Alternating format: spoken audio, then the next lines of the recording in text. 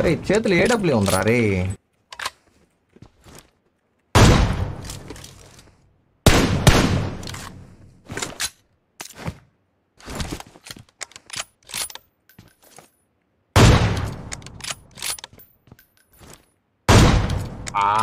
mix బ్రాడు rush చేద్దాం పదండి